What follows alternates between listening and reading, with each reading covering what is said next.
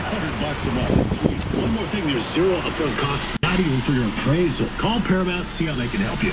289-8000.